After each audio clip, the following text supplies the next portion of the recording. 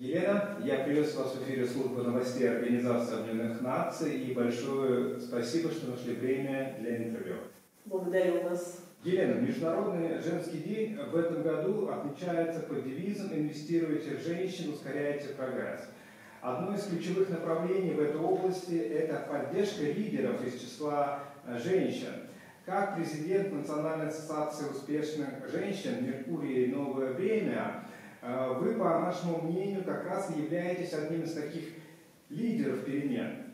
Было бы интересно узнать о вашей ассоциации, как вам пришла идея ее создания, в каких именно областях добились успеха женщины, а, которые объединились в ассоциацию, и какие задачи она решает, с какими трудностями она сталкивается? Цель создания ассоциации зародилась э, объективно возможность объединения единомышленников и соратников э, из числа женщин, которые занимают ключевые позиции в разных отраслях и права, и отраслей, э, разных отраслей эм, это архитектура, это образование, это а, налоговая, это адвокатура, это а, многие другие направления, это дизайнерство, это бьюти, это научно-исследовательские образовательные учреждения, которые занимают женщины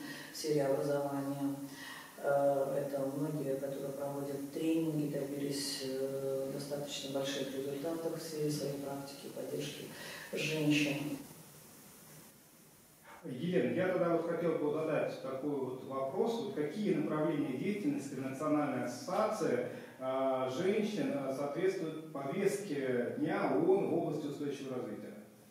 Это экологическое направление, это и образование, это и медицина, здравоохранение, это поддержка благотворительных э, каких-то аукционов, направлений, Э, малоимущим семьям э, поддержка. Ну и не только это, это поддержка в семьях или детям, помощи какой-то в дошкольном образовании, в начальном образовании, также университетов. Сегодня э, у нас есть программа с Египтом, которая в мае будет запускаться, двухнедельные модули образования по туризму, по медицине, по легкой промышленности, то есть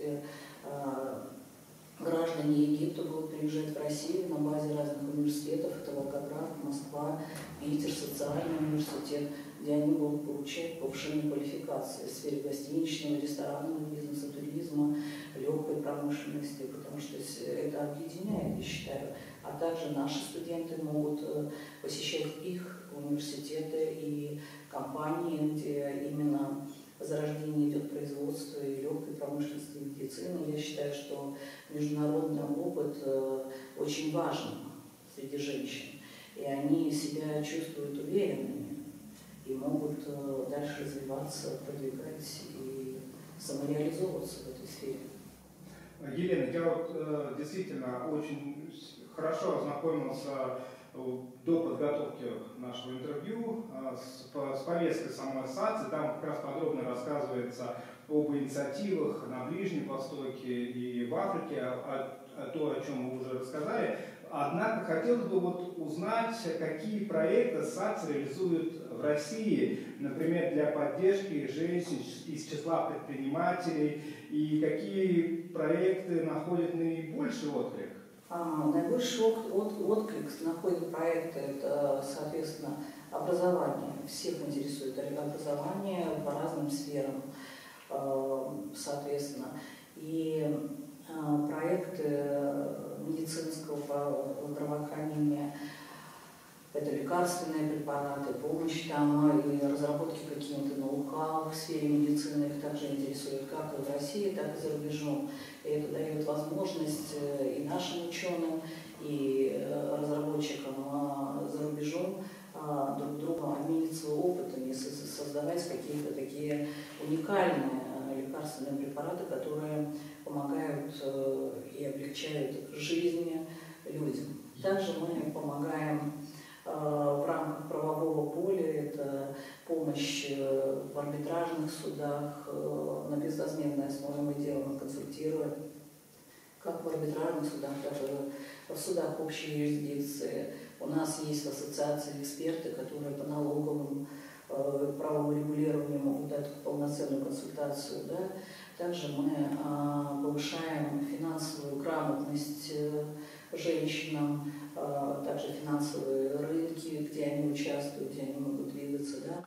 Это очень интересно. Позвольте уточнить, а вот э, в рамках вот, э, клуба успешных женщин на Меркурия новое время, вот э, женщин, с которыми вы взаимодействуете, это в основном центральная Россия или все-таки работа идет э, по всей стране? Нет, идет работа по всей стране, это региональная, это не только, это и Сибирь, и Красноярск, и Томск, и Сочи, и Краснодар, ну, разные направления на самом деле. Хорошо, вот, э, Елена, я тогда хотел бы вот, э, узнать, вот вы перечислили несколько наиболее важных направлений, а, в которых, по которым ведется работа с ассоциацией, и в этой связи я хочу затронуть такой важный момент, как ваше участие в работе Российской ассоциации содействия Организации Объединенных Наций. Вот, в частности, нам известно об идее воссоздании комиссии Российской ассоциации содействия ООН по положению женщин. Вот было бы интересно узнать о ключевых направлениях, которые будут, будет курировать эта комиссия и какие проблемы она планирует решать.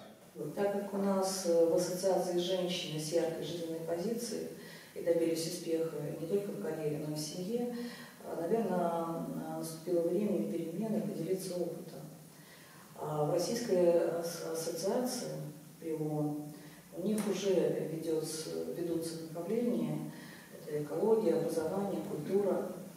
И мне бы хотелось объединить э, все эти сферы деятельности и дать определенный такой толчок развития к созиданию более а, таких профессиональной помощи для женщин, для равенства полов, а, потому что все равно, так или иначе, э, сегодня все равно присутствует от работодателя а, дискриминация женщин, а, соответственно, по уходу ну, беременных женщин, по уходу за ребенком, малооплачиваемое там, пособие, зарплата. Хотелось бы вот с такой вот э, лидерской инициативой выходить и все-таки уравнять, э, чтобы был баланс такой между женщинами и мужчинами, чтобы они равноправно и уверенно могли чувствовать себя в этой среде э, и бизнеса, и семьи, и не были ущемлены в правах. Я думаю, что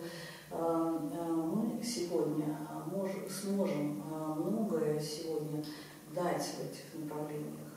Елена, вы затронули очень важный такой момент, как э, равноправие, и в этой связи я хотел бы задать вам такой вопрос. Вот более столетия назад э, женщины инициировали кампанию в получении избирательного права и за равноправную оплату труда. Каким вы видите сегодняшнюю ситуацию на рабочих местах? И исходя из вашего опыта женщинам по-прежнему приходится сталкиваться с разницей в оплате труда? Вы знаете, это э, все равно присутствует, но уже менее, э, можно так э, сказать, в процентном соотношении. Почему? Потому что все-таки женщины занимают очень тоже многие ключевые позиции, должности, которые создают определенный такой баланс между мужчиной и женщиной, руководителями они применяют более такую, я так думаю, что легкую дипломатию, которая а, балансирует эти отношения и уравнивает их в правах и заработной плате, и в условиях, и в продвижениях, что они могут а, на, на, на одном уровне разговаривать. Елена, вот что бы вы хотели бы отметить в качестве пожелания для подрастающего поколения, числа девочек? Как они, на ваш взгляд, могут способствовать преобразованию мира и достижению целей ООН в области устойчивого развития?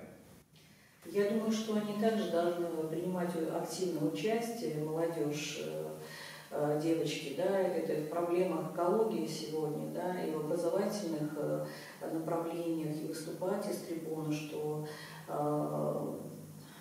устойчивое развитие ООН мы должны нести.